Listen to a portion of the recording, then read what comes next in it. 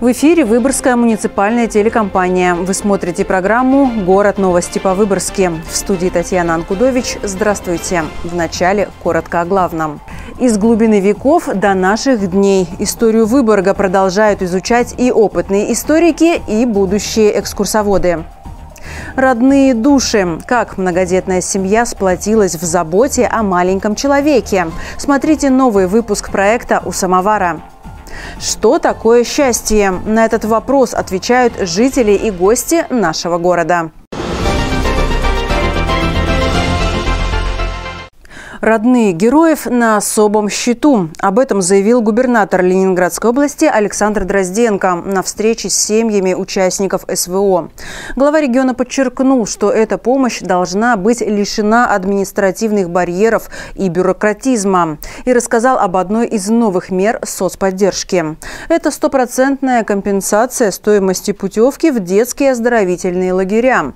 По поручению президента Александр Дрозденко вручил семьям погибших наших героев награды Ордена Мужества. Губернатор отметил, что важно увековечивать память земляков, устанавливать мемориальные таблички там, где они учились или работали, и сдавать книги о них. Жители Ленинградской области выбирают новые объекты для благоустройства. В первые три дня всероссийского голосования в нем приняло участие более 80 тысяч человек.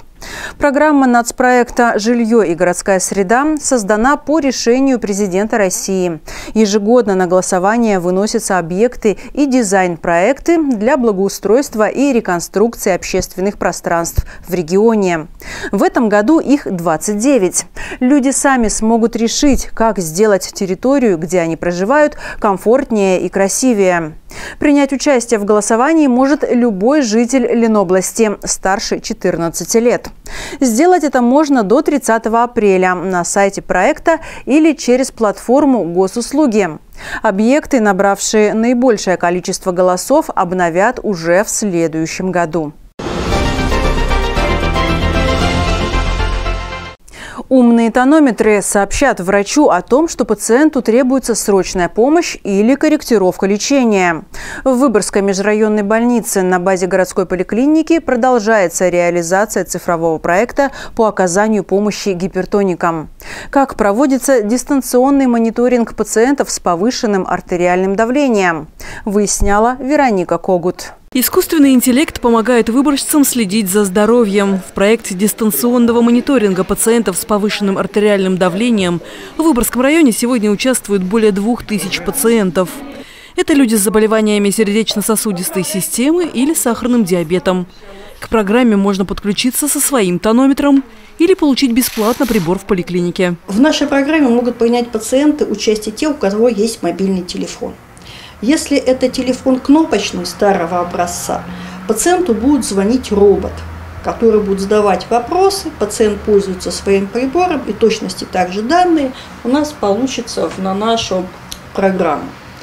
Если у пациента есть а, смартфон любой марки, а, есть достаточно а, работающий интернет, доступ к интернету, Пациент скачивает программу, наш доктор подключает программу, и тогда данные будут передаваться автоматически. Участники программы дважды в день измеряют давление. За колебаниями их самочувствия следят врачи. В случае, когда показатели превышают норму, с пациентом свяжутся специалисты колл-центра. Пригласят на прием или пришлют медика на дом – а если ситуация требует экстренной помощи, вызовут скорую. У меня очень часто повышается давление, и я считаю, что это очень удобно, потому что мне подключили дистанционный монитор – Э, данные моего давления передаются сразу же доктору.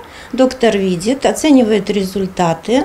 Он может мне позвонить, со мной связаться, э, что-то порекомендовать. Э, для меня это очень удобно, для того, чтобы экономить время, часто не посещать доктора и сразу знать, что и как мне предпринять. К программе подключены фельдшеры амбулаторий и ФАПов, терапевты и узкие специалисты.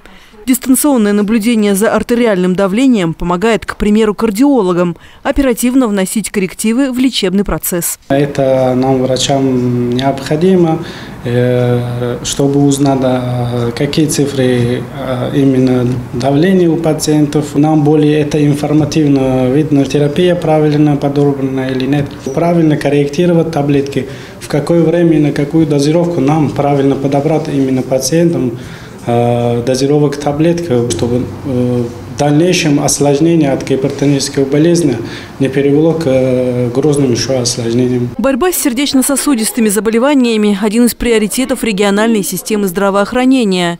Сегодня эти недуги поражают не только людей старшего возраста. Это у нас от 40, есть и 30 с небольшим лет, потому что пациенты испытывают стресс. У них нервная работа, либо отягощенная наследственность. А подключиться желательно и нужно, я считаю, еще до того, как заболевание стало развиваться и приобрело тяжелую форму. Наша программа позволяет провести профилактические мероприятия и вовремя заметить те изменения, которые потребуют вмешательства уже врача и лечебных препаратов. Принять участие в программе может любой желающий. Подключают даже тех пациентов, которые не приписаны к городской поликлинике по полису ОМС, но имеют показания. Достаточно обратиться к любому медику по месту жительства или непосредственно в регистратуру. Вероника Когут, Андрей Неробов, медиагруппа «Наш город».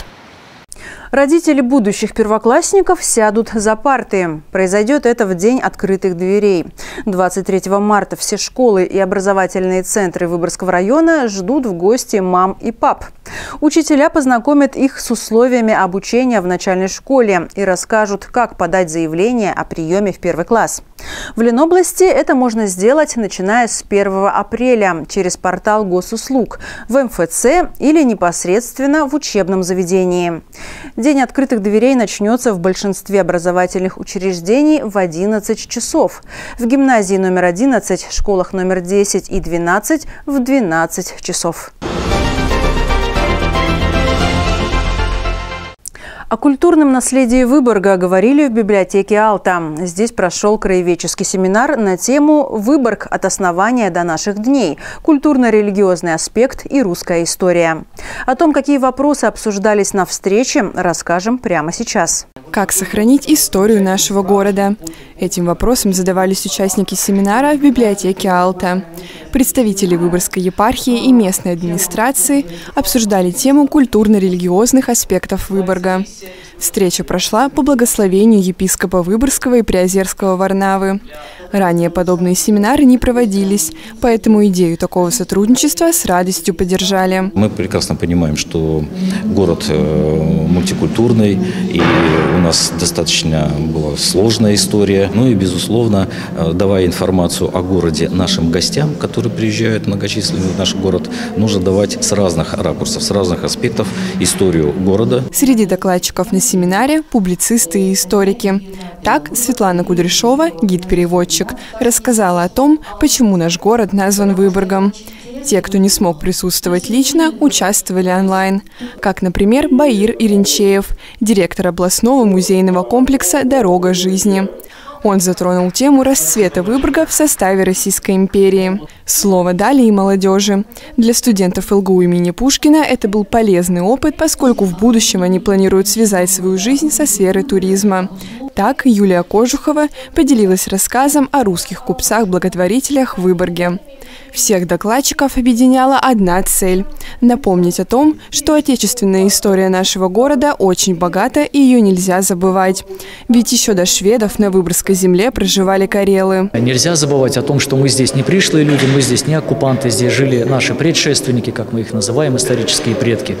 И, в принципе, это и обусловило, наверное, ментальность того Выборга, который мы сегодня знаем. По окончании семинара гиды-экскурсоводы получили от Выборгской епархии культурно-религиозный справочник «Миссия экскурсовода». Полина Сорокина, Андрей Неробов, медиагруппа «Наш город». Семья, любимая работа, ожидание отпуска и даже просто улыбки окружающих. Сегодня во всем мире отмечают День счастья. Памятная дата появилась в календаре неофициальных праздников не просто так, а для того, чтобы напомнить обществу. Стремление к счастью – это неотъемлемое желание каждого человека. Жители и гости Выборга поделились с нашими корреспондентами своими рецептами счастья. Меня делает счастливым э, радость завтрашнего дня. Близость весны говорит о том, что зиму пережили. И отпуск, хождение в шортах, купание, семейные праздники, э, совместные шашлыки. Вот меня это делает счастливым. Меня делает счастливым мое хобби, моя любимая и то, что все в моей семье здоровые. Мне нравится приезжать в такие города, как Выборг. Мы сами из Петербурга вот только что приехали. Ходить смотреть на эту красивую архитектуру. Новые места, да. Э, я считаю, что такие города правильно и нужно называть народным достоянием. Меня счастливым делает работа, потому что работа это единственное, что заставляет меня просыпаться по утрам и вставать с кровати. Ну, во-первых, это красиво, а во-вторых, это необычно. Ну, как бы, есть чем похвастаться перед друзьями у всех там. Я работаю бухгалтером, я там работаю на заводе, а я хожу в красивом костюме, меня узнают очень часто. Как бы популярность, да и просто весело. Вот, это делает меня счастливым. Ну и, естественно, семья, ради которой все это делается. Когда ты идешь по красивому городу, такому как Выборгу. У тебя выходной, рядом у тебя близкие, родные люди. Вот это Все моя улыбаются. сестра, которая приехала издалека. И поэтому мы счастливы находиться сегодня в Выборге. Вот. Самое главное счастье – семья. Да, наше счастье, вот оно. Уже почти годик. Очень внимательно смотрит. Улыбающиеся счастливые люди наполненные жизнью, которые всегда, э, всегда улыбаются, всегда несут радость, позитив другим людям. Вот это меня делает счастливым. Счастливым делает уже само осознание того, что я сам себе создаю счастье. И как только ты это понимаешь, а счастье приходит как будто само собой. Ты уже становишься счастливым. Это зависит от самого тебя. Поздравьте близких, совершайте добрые поступки, подарите тепло души тому, кто в этом нуждается. И счастье в мире станет больше. Два раза в месяц наша съемочная группа ходит в гости. Новый проект «У самовара» мы посвятили Году семьи, объявленному в Российской Федерации.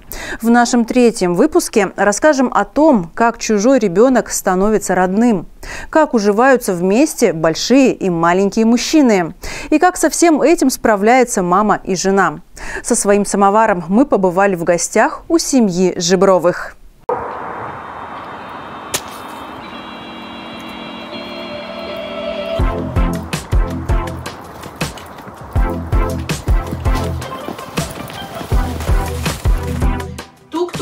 Хозяева, вы дома? Это мой пузатый напарник, и сегодня мы будем пить чай у самовара. Колесь, э, вот признаюсь честно, я ехала к вам домой с большим интересом. А, я узнала, что вы многодетная мама, у вас трое взрослых практически сыновей, и вот у вас появился еще один, четвертый сын. Да, вы с ним знакомы не с его рождения. Расскажите вот историю появления в вашей семье вашего четвертого сына. Андрюшка с нами с августа этого го- прошлого года. А, то есть седьмой месяц он находится в нашей семье. А, вообще наша семья большая. У нас старший сын, ему уже 19 лет, он учится в университете в Санкт-Петербурге. А, среднему сыну Владу сейчас 16, Никите младшему 10.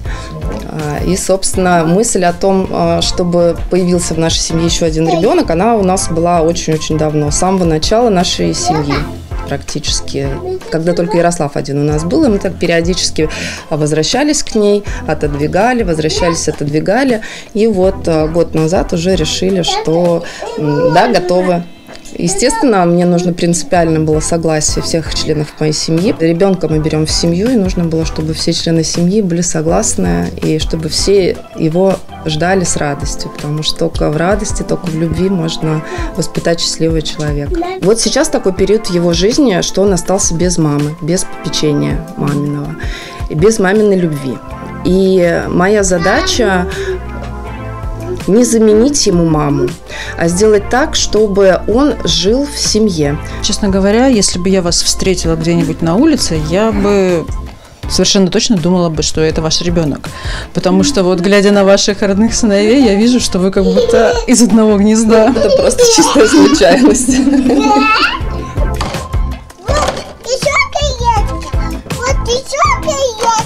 Олеся, от прошлых героев нашей программы «У самовара» мы привезли для вас подарок.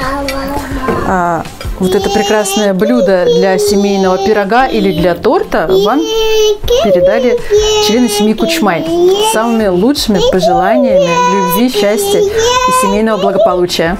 Спасибо большое.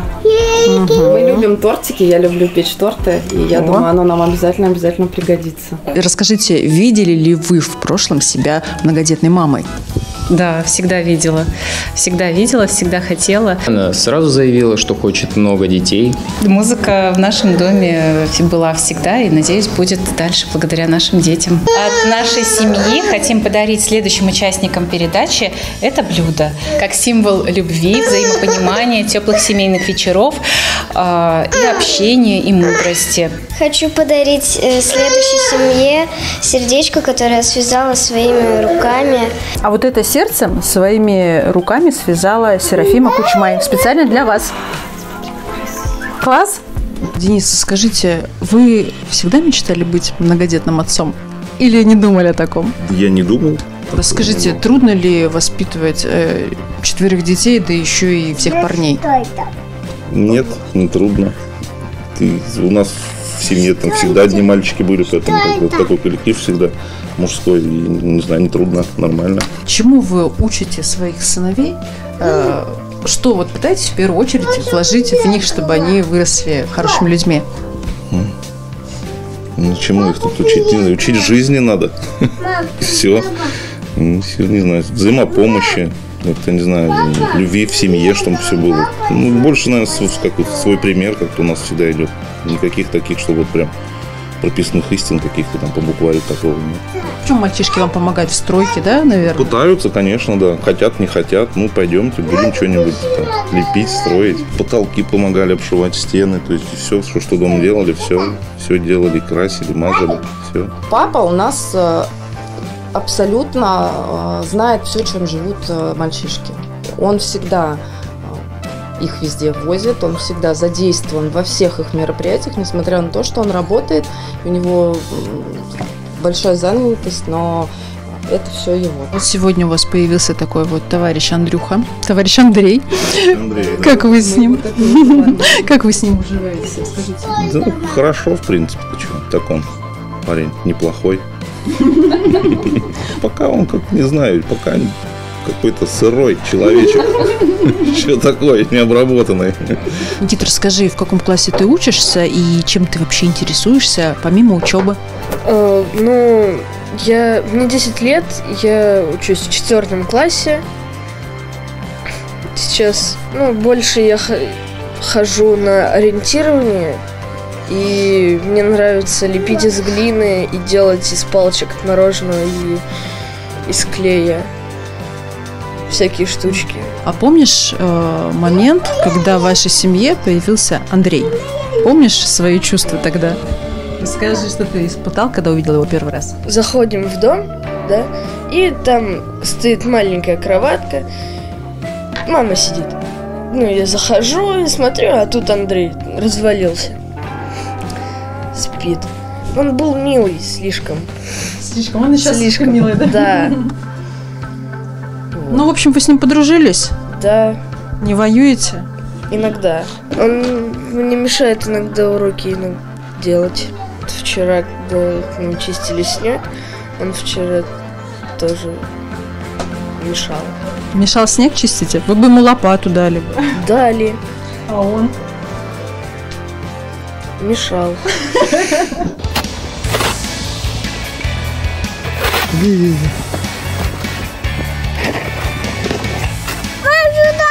Кидай, кидай. Влад, расскажи о своих увлечениях. Ты учишься в школе или уже закончил? Сейчас я учусь в 10 классе по увлечениям. Раньше все было насыщеннее, я занимался и футболом, и был период, когда я занимался лыжами со старшим братом, но по некоторым причинам спорт бросил. Сейчас э, занимаюсь в военно-патриотическом клубе «Бастион» в нашем городе и э, учусь играть на гитаре. Женщины сердцами, золотыми волосами Город сказка, город мечта Попадая в его сети, пропадаешь навсегда.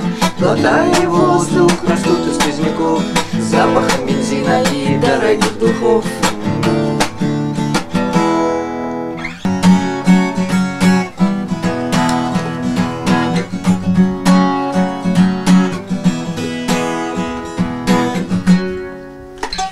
Влад, расскажи, как ты отнесся вообще к идее своей мамы, что в вашей семье должен появиться еще один ребенок? Тут уже смысл о чем-то говорить, тут нужно вот помогать, и Андрея уже брать, можно сказать, под свое крыло, чтобы показывать и пример, и тоже оказывать свою помощь в воспитании. Есть всякие пакости. Вот вчера я пришел домой из города и обнаружил, что у меня в гитаре лежит монетка, которую надо было доставать.